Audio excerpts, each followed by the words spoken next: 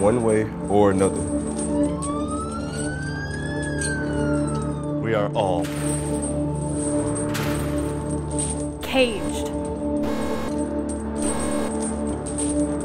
Caged. caged.